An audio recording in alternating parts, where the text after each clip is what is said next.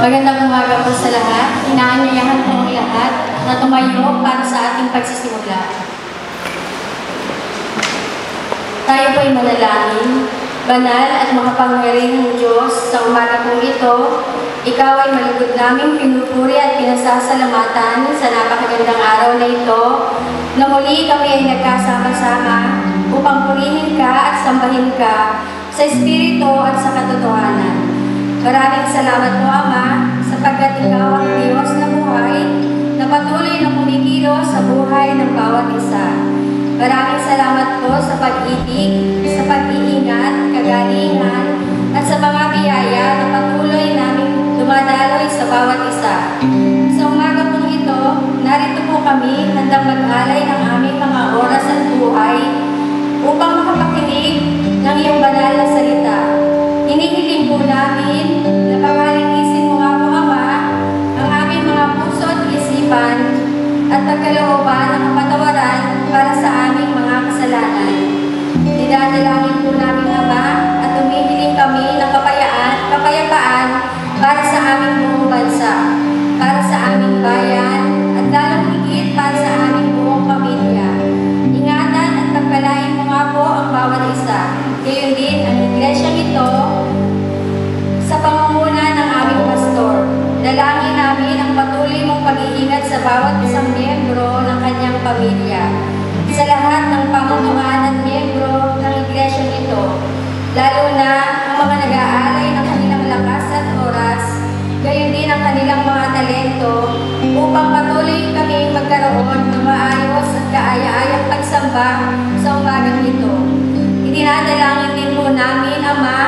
ang mga may karamdaman, ang mga nasa pagamutan at ang mga nakakaranas at umaharap sa mga pagsubok ng buhay.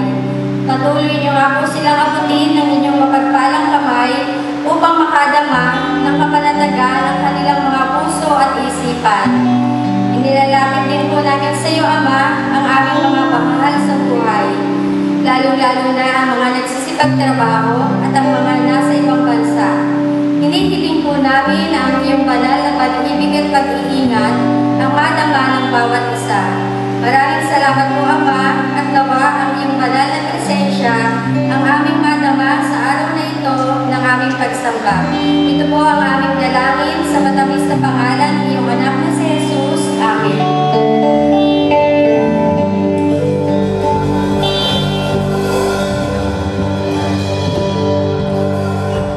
Morning po sa ating lahat.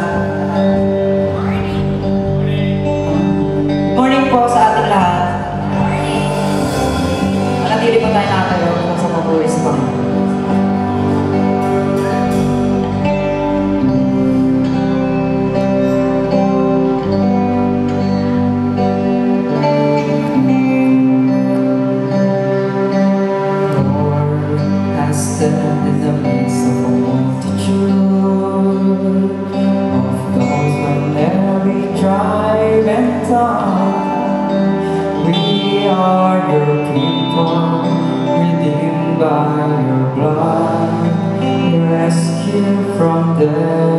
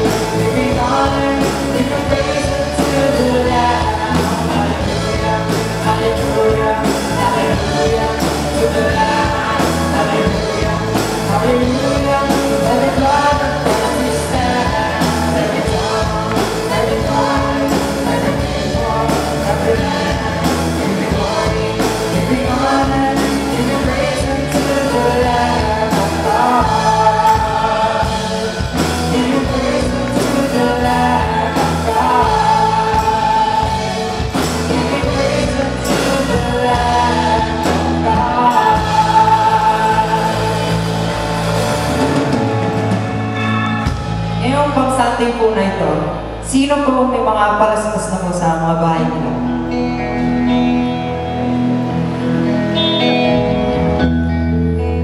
Pero, sino nga ba ang sincelebrate natin ngayong pang Sunday? Yes, syempre, Jesus Christ. Ngayong linggo po na ito, paramdam po natin na marapat dapat po tayo na sa pagbabalik ng Panginoon. Patuloy po tayo sa pagbabalik.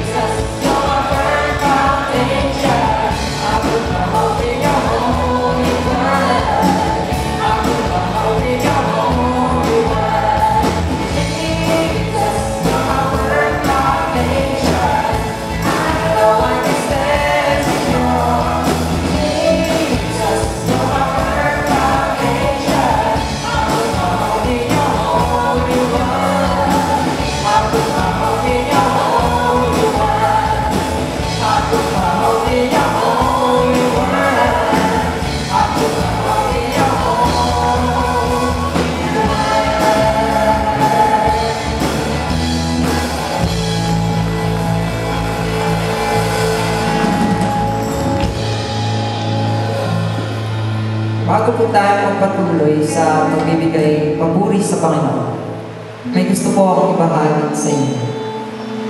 Sino po dito may ibang pinagkakabalahan sa buhay? Lahat naman po siguro dito may pinagkakabalahan. Tulad ko na kadalasan nalalaan ko yung oras ko sa paglalaro ng online games, social media, gaya ng sermon ni Pastor na kakascroll mo ilang oras na ang nasayang and napupunta yung attention mo sa ibang bagay na hindi naman gaano ka-importante. Alam niyo po ba na meron po tayo halos 86,000 seconds daily kung meron tayong 86,000 pesos sa kamay natin kada araw at mawawala rin ito paglubog ng araw, saan at paano mo ito gagastusin? May tanong po ako para sa ating lahat. Kanino at sa kung ano-anong mga bagay mo ibinibigay at ipinagkakaloob ang oras at atensyon mo? Sino ang mas dapat nating kilalanin?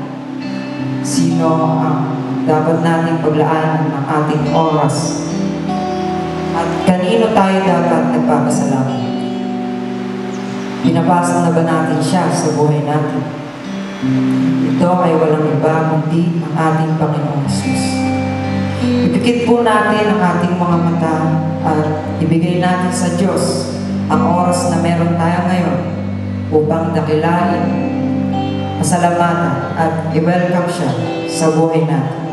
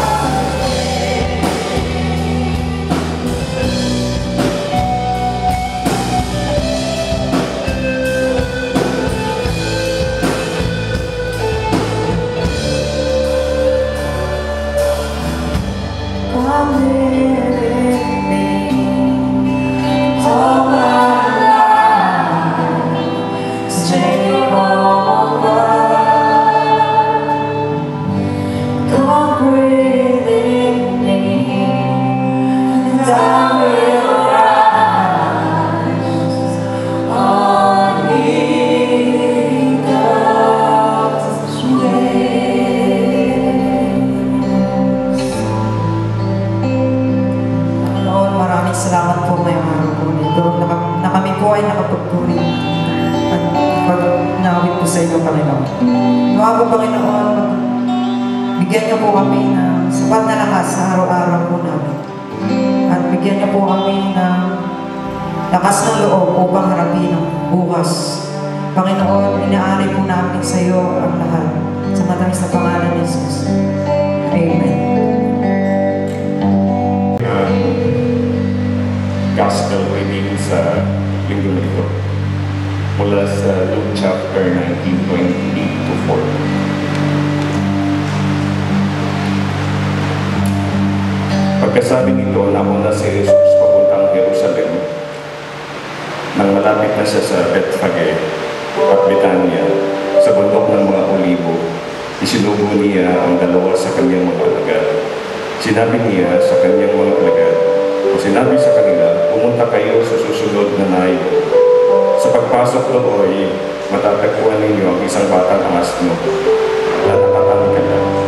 Hindi pa iyon nasasaksihan ninyo man. Kalagan ninyo at dalhan, dalhin dito. Kapag may nagtanong kung bakit ninyo iyon kinakalagan, sabihin ninyong kailangan iyon ng Panginoon. Lumakat nga ang mga inutusan at natagpuan nila ang asno ayon sa sinabi ni Jesus. Habang kinakalagan nila ang batang asno, tinanong sila ng may-ari, bakit ninyo kinakalagan yan? Kailangan po ito ng Panginoon tuloy nila. Tinanong nila kay Jesus ang asno at matapos isabin sa likod nito ang kanilang mga balabal, siya'y pinasakay nila. Habang siya'y nakasakay sa asno, inilatag naman ng mga tao ang kanilang mga balabal sa kanyang dinaraanan. Nang siya'y malapit na sa lungsod, pinalusong na sa libis ng bundok ng mga olibo, nagsigawan sa tuwa ang lahat ng alagad niya at malakas na nagpuri sa Diyos dahil sa mga kahangahangang pangyayaring kanilang nasaksihan. Sinabi nila, pinagpala ang hari dumarating sa pangalan ng Panginoon, kapayapaan sa langit, papuri sa kanitaasan. Sinabi naman sa kanya ng ilang pareseyong kasama ng karamihan, Patigilin ninyo ang inyong mga alagad. Sumagot siya, sinasabi ko sa inyo, kapag tumahimik sila, ang mga bato ang sisigaw. Ituloy po natin sa talatang 14 hanggang sa mga sumusunod. Nang malapit na siya sa Jerusalem at nata- natatanaw na niya ang lungsod, ito'y kanyang tinangisan. Sinabi niya, kung nalalaman mo lamang sa araw na ito kung ano ang makakapagdulot sa iyo ng kapayapaan, ngunit ito'y lihit ngayon sa iyong paningin. Darating ang mga araw na magkakampo-kampo sa palibot ang mga iyong, ang iyong mga kaaway, palilibutan kanila at gigipitin sa kabi-kabila.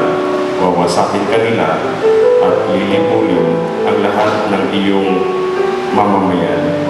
Wala silang iiwang magkapatong na bato sapagkat hindi mo pinansin ang pagdalaw sa iyo ng Diyos. Pinagpala po tayo sa pagkarinig at pagkabasa ng salita ng ating Panginoon.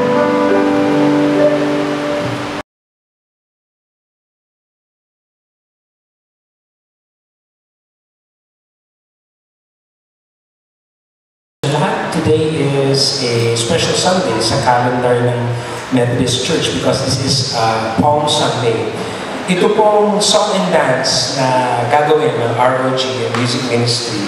It was supposed to be presented two years ago before po magkaroon ng lockdown and pandemic. Uh, it comes from the musical Godspell wherein dito makikita niyo si John the Baptist was declaring to the people that Christ is coming and He will be the one to save us from sin and suffering. Ah, sana po mag-bless po kayo sa performance na ito.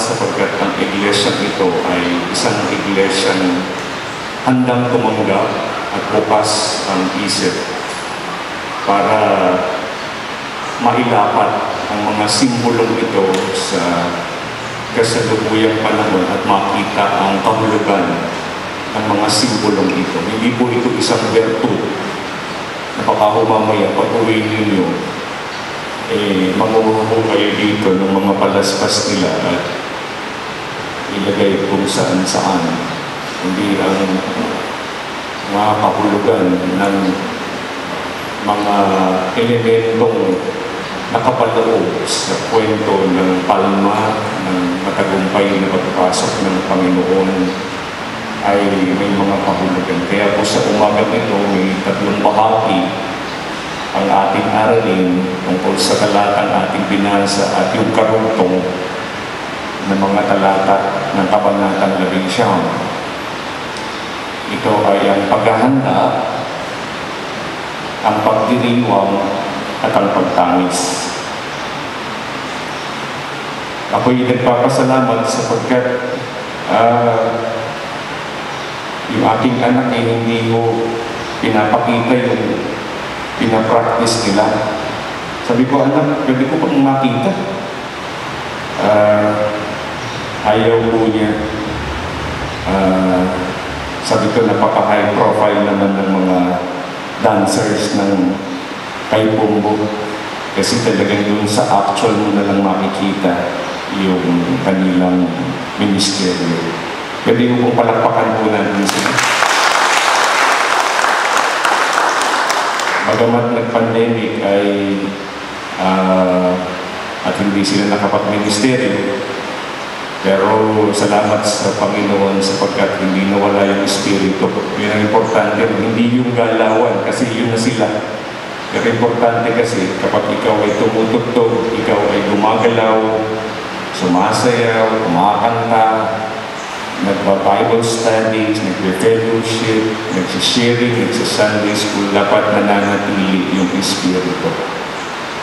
Pwede mo bang bigyan ng fish bomb yung katabi mo? Tignan mo kung nakaka-connect sa iyo ngayon. Importante yung connection kapag tayo ay nagsasama-sama. Sabi ko kanina, mayroong tatlong bahagi yung ating aralin mula sa ating binasa. Kabanata, mga talata. Una yung paghahanda ng si Jesus o ng malapit na si Jesus sa Bethphage, sa Betania. Inutusan niya yung dalawang alagad upang kuhanin ang asno na sasakyan niya. For sure, yung may-ari ng asno ay alagad din ng Panginoon dahil ang sabihin ng mga alagad na kailangan nito, hindi siya tumutol. Pansinin natin yung asno. Ngayon, ang tingin natin sa asno ay isang pangkaraniwang hayop lamang na nagdadala ng mabibigat na dalahin, nakatumbas ng kalabaw sa panahon natin natin. Ngunit noon, ang asno ay isang sasakyan ng hari. Mapapansin din natin na inilatag ng mga tao ang kanilang mga balabal sa daraanan ni Jesus.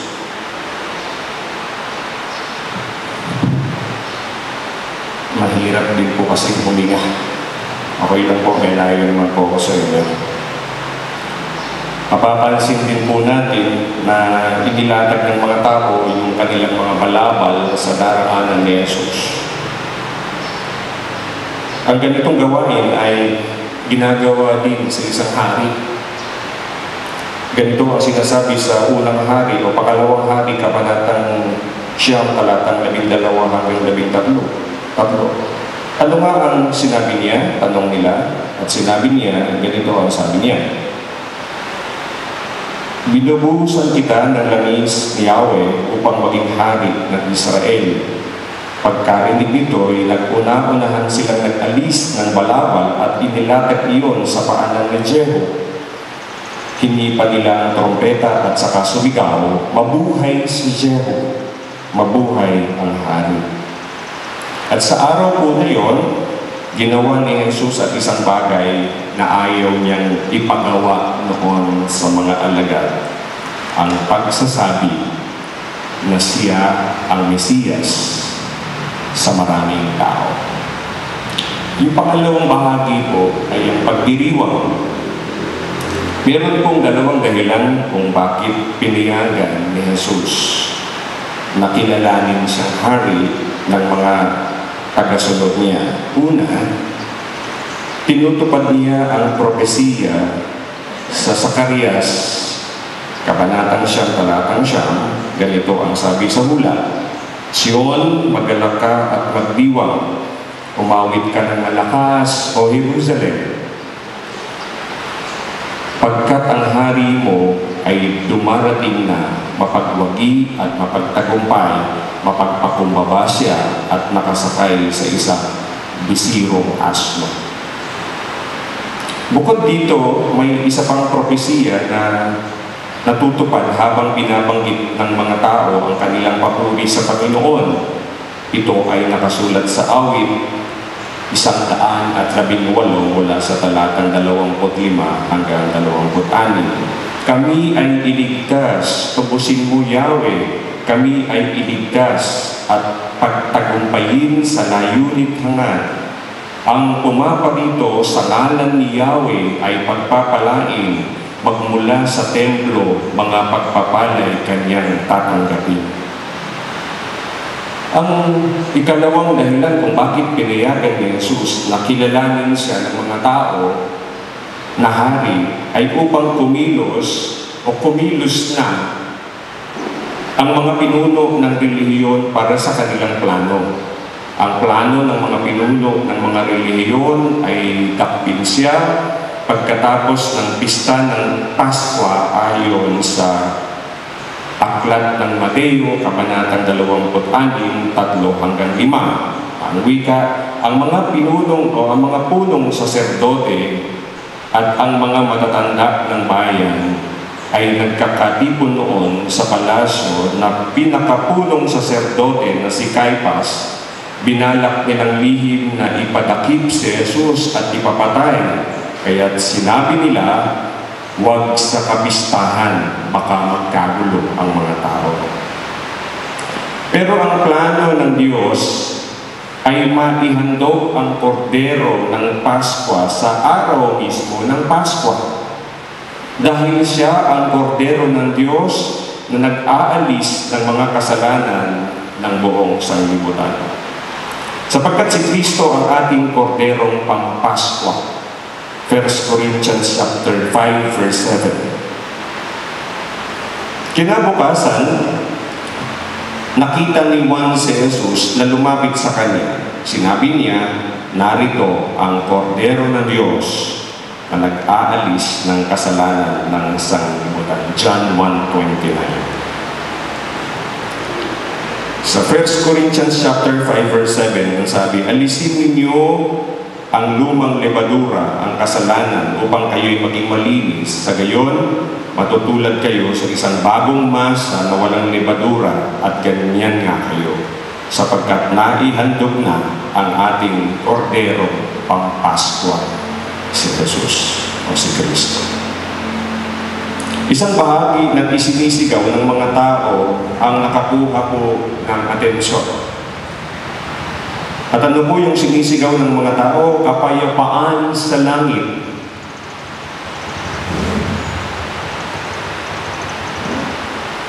Kung natatandaan po natin ng isilang si Jesus, inawit din ang tungkol sa kapayapaan. Ngunit ang awit ng mga anghel ay sa lupay kapayapaan. Bakit po nagkaganon? Nang isilang si Jesus, ang awit ay kapayapaan sa lupa. Ngayon, ang awit ay kapayapaan sa langit. Bakit? Dahil tinanggihan ng mga pinuno ng reliyon ang prinsipe ng kapayapaan sa halip na kapayapaan ay nagkaroon sa lupa ng walang hanggang paglalaban ng kabutihan at kasamaan. Hindi nagkaroon ng kapayapaan sa lupa noon, pero salamat sa kamatayan ni Kristo, nagkaroon ng kapayapaan sa langit. Dati tayo ay kaaway ng Diyos. Ngayon tayo ay kaibigan ng Niya. Meron na tayong kapanatagan sa Diyos. At ang panawagan ngayon ay makipagkasundo na tayo sa Diyos. Sabi nga ng Romans chapter 5 verse 1, Yamang napawalang sala na tayo dahil sa pananalig sa ating Panginoong Kristo sa pamamagitan niya ay mayroon na tayong kapanatagan sa harapan ng Diyos. Colossus, Kabanatang 1, talatang 20, at inibig niyang ang sandaigdigan ay makipagkasundo sa Kanya sa pamamagitan ng anak, sa pamamagitan ng pagkamatay nito sa krus, nagkasundo nga ang Diyos at ang lahat ng nilikha sa langit at sa lupa. Kaya nga ang sino mang nakipag-isa kay Kristo ay isa ng bagong nilalang. Wala na ang dating pagkatao, siya'y bago na. Ang Diyos ang gumawa ng lahat ng ito. Sa pamagitan ni Kristo, ibinilang niya akong kaibigan, di nakaaway, at hinirang niya ako upang panumbalikin sa kanya ang mga tao. Ang ibig kong sabihin, ang tao ay ibinibilang ng Diyos na kanyang kaibigan sa pamamagitan ni Kristo at nililimot na niya ang kanilang mga kasalanan. At ipinagkatiwala niya sa akin ang balitang ito, kaya't ako'y sugo ni Kristo, parang ang Diyos na rin ang namamanhik sa inyo sa pamagitan ko. Makipagkasundo kayo sa Diyos, hindi nagkasala si Kristo, ngunit dahil sa atin, siya'y ibinilang na makasalanan upang makipag-isa tayo sa Kanya at mapapanal sa harapan ng Diyos sa pamamagitan niya. Reading from 2 Corinthians chapter 5, 17 to 21. Yung huli po ay ang pagtatangis, paghahanda, pagdiriwang, at ang pagtangis. Samantalang nagdiriwang ang mga tao, tumatangis si Jesus. Dalawang ulit lamang na mababasa sa bagong tipan na tumangis si Jesus. Ang una ay nagmamatay ang kanyang kaibigan si Lazaro. Siya ay tahimik tumangis. Ang ikalawa ay ngayon. At ang salitang ginamit dito ay ang malakas na pag-iyak gaya ng paghagulgol ng isang namatayan o kaya ay gaya ng pag-iyak ni Jeremias para sa Jerusalem. Ang sabi ng kabanatang siyam, talatang isa, Maanong, maamong ang ulo ko'y naging balon ng tubig at ang mga mata ko'y bukal ng luha upang may iluha ako maghapot magdamag para sa mga kababayan kong nasawi. Sa, uli, sa huling aklat o bahagi ng aklat ni Honas, ay mababasa natin tumingin si Honas sa lungsod ng Nineveh at hinintay niyang ito ay mawasak. Si Jesus naman ay tumingin sa lungsod at tumangis dahil winasak nito ang sarili sa kanyang pagtanggi kay Jesus.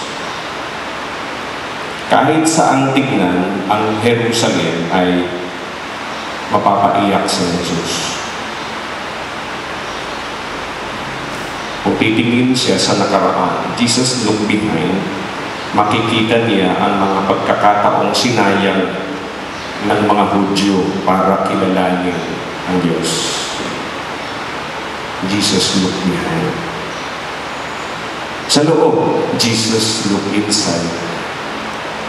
Makikita ang kawalan nila ng pagkaunawa at ang kanilang spiritual na kabulagan sa puso ng mga tao. Dapat sana ay nakilala nila ang Diyos sa pamagitan ng mga propeta at ni Juan na tagapagbautismo.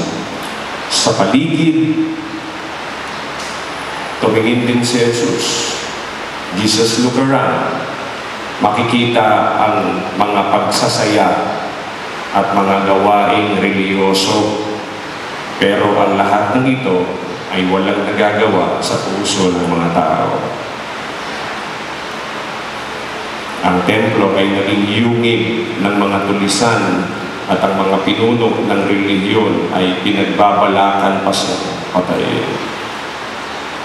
Sa hinaharap, Jesus looked ahead. Darating na kapahamakan.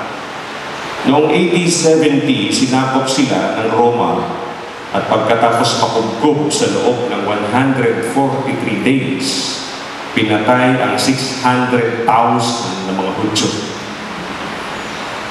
Maraming dinakip at winasak ang templo at ang lungsod ay sinundo. Tumangis si Jesus. Tumangis si Jesus. At maraming dahilan kung bakit. Ngunit ang pinakamabigat na dahilan ay ang sinasabi sa kabanatang 44 o yung talatang 44 ng kabanatang 11 sapagkat hindi mo pinansin ang pagdating ng Diyos upang iligtas ka. Tinanggihan nila ang Diyos. Yun po yung pinaka nagpatangis kay Jesus. Ang hindi pagpansin sa pagdating ng Diyos. Kahit ngayon, kahit sa ating panahon ngayon, mayroon din tayong paghahanda. Meron din tayong pagdiriwang. Napakadami po ng ating okasyon na darating. At sa amin pong mga manggagawa, at maging sa mga katuwang namin, sa mga gawain ito, ito po yung isa sa pinaka um, gawa ng puno ng kaabalahan, napaka-busy na panahon. Napakadaming inihahandang okasyon. Ang pagsamba na ginagawa natin ay isang pagdiriwang, isang celebration. Ang atmosphere ng ating worship ngayon ay napaka-special sa linggong ito. Yung mga gagawin nating pagdiriwang, napaka-special ng lahat ng yan. Ang komunyon ay isa ding paraan ng pagdiriwang. Pero gusto ko po kayong tanungin, mayroon bang kahulugan sa atin ang ating mga ginagawa? Ano ang nagiging bunga ng bawat pagdiriwang na ginagawa natin dito sa bahay, sambahan o maging sa labas man? Tayo ay maaaring umawit ng papuri sa Diyos. Maaaring tayo ay nananalangin. Maaaring tayo ay naghahandog. Ngunit maaari ding malayo naman ang puso natin sa Diyos.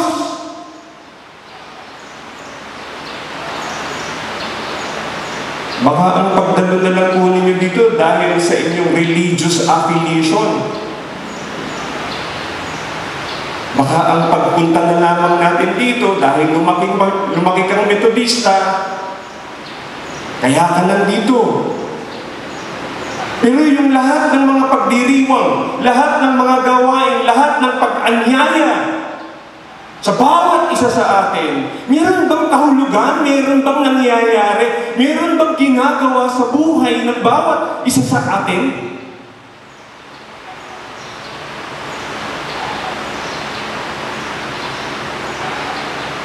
May mga kapatid,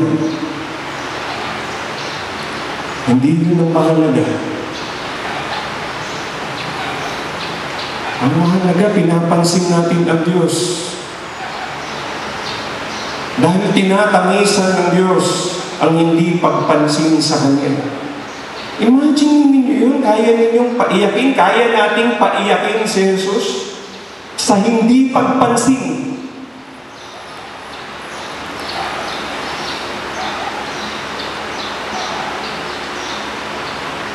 Minsan po, alam ninyo, nawawalan na ho ng pag-asa yung mga nag-aanyaya. Pastor, ayoko na po. Ayaw mo, ayoko na rin. Ayaw na.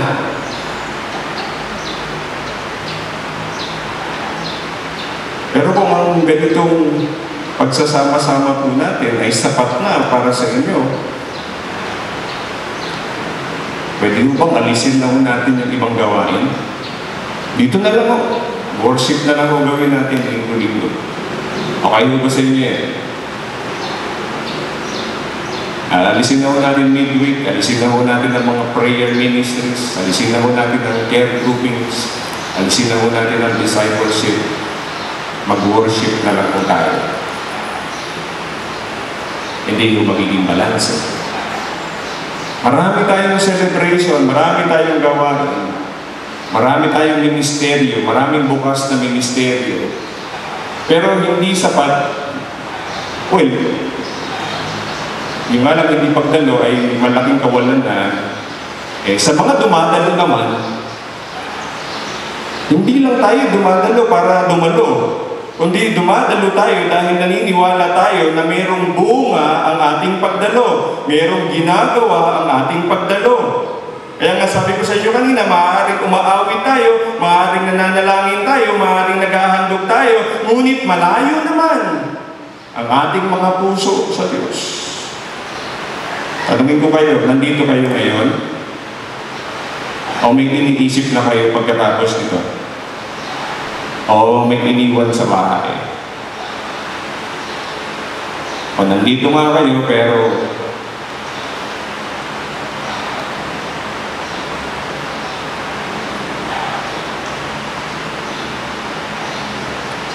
Kung titingin kaya si Jesus ngayon sa puso natin at sa ating kinabukasan,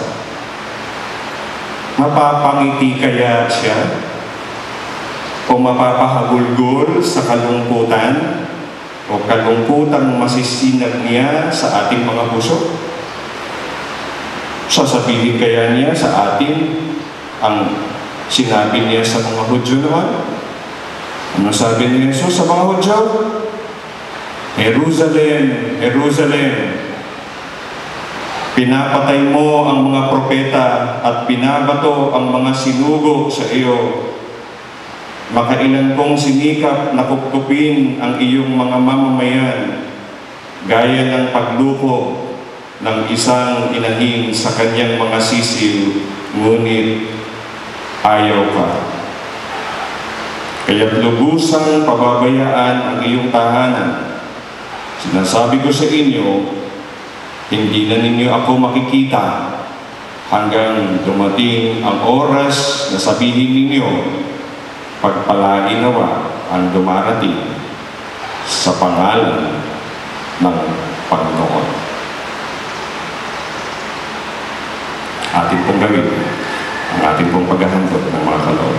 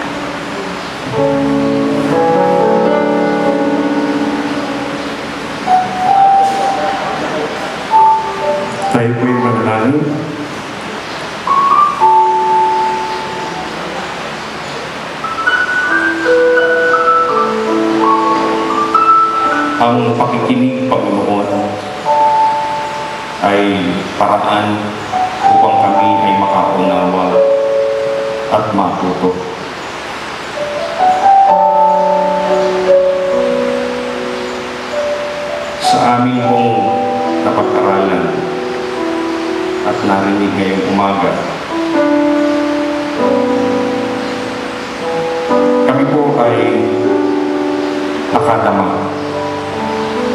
Ng kakulangan, nakadama ng panghihinayang, nakadama ng pagsisisi, nakadama, Panginoon, ng pagkakamali, pagkakasala na naging dahilan ng iyong pagtangis dahil naging abala po kami sa maraming mga bagay, higit sa pinakamahalaga.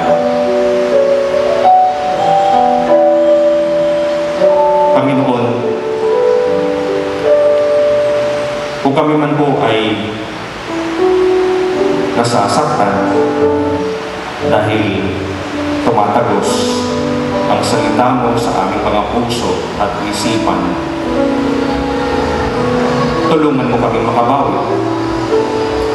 Tulungan mo kami humabol. Tulungan mo kami magpatuloy.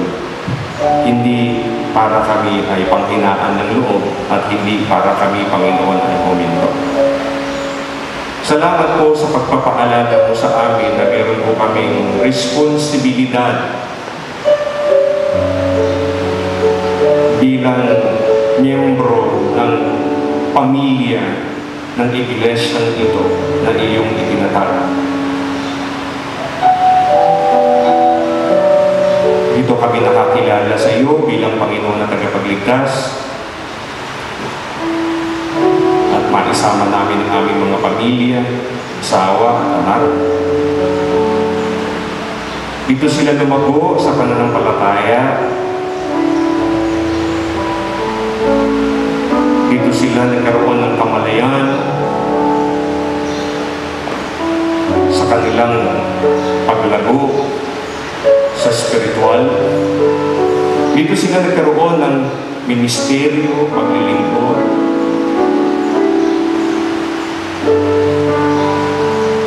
At ang iglesyang ito na naging paraan at ang lulod ng pagpapala mo ay malaking bahagi at parte ng aming buhay. Kaya naman, Panginoon, hayaan mo po na huwag pong mabaliwala ang lahat ng ito dahil sa aming pong pagtigil at hindi pagpansin sa iyong pagkanyaya. Alam po namin, Panginoon, na may mga mabibigat na dahilan at totoong excuses sa hindi pagdalo. At ito ay batid mo at alam mo, Panginoon, at ito'y nauunawaan mo.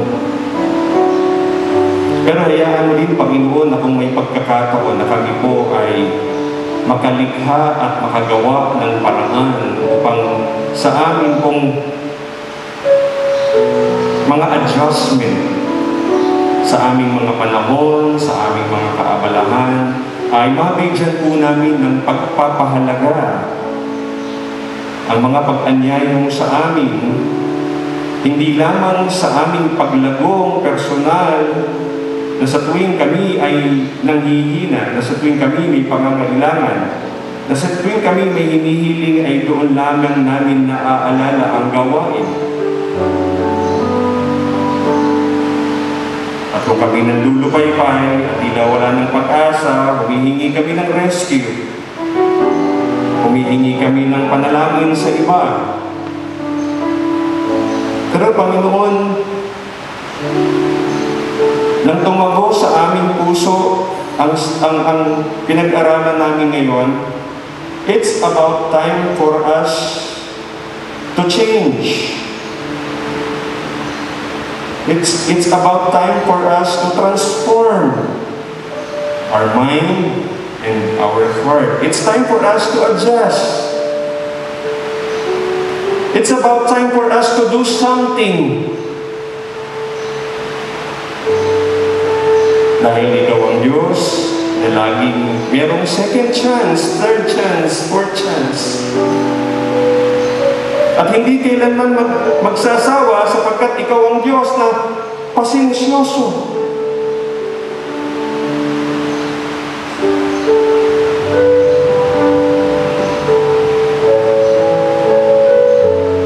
Kaya Panginoon, huwag mong hayaan na lalabas kami sa gawain ito nang hindi kami gumagawa ng isang konkretong desisyon.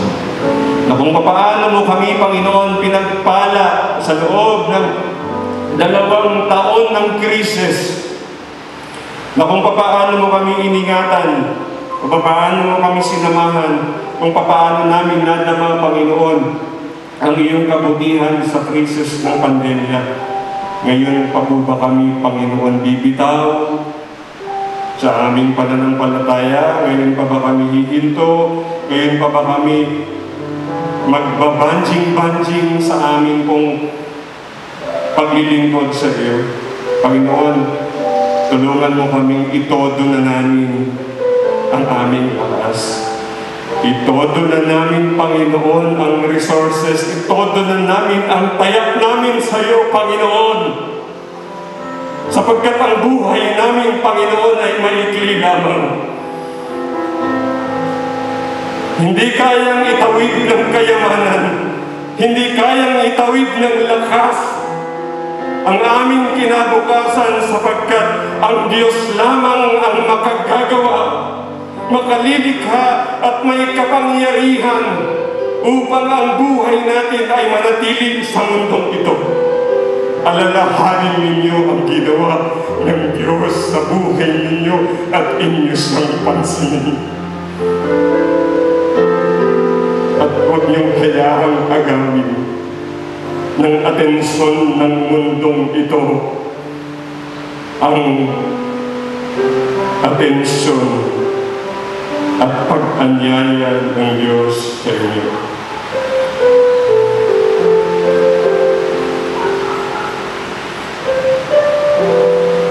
Salamat, Panginoon, sapagkat meron pong ganitong mga pagkakataon na kami po ay nabibigyan na mapanaulit namin ang aming pong init ng aming pagkikipagrelasyon sa iyo. Dahil Panginoon, minsan ay parang very casual na lamang, Panginoon, ang aming pong pakikipagrelasyon sa inyo at wala na pong paglalim. Dahil bumubuti na ba ang panahon? Dahil gumaganda na ba? Bumabalik na sa dati?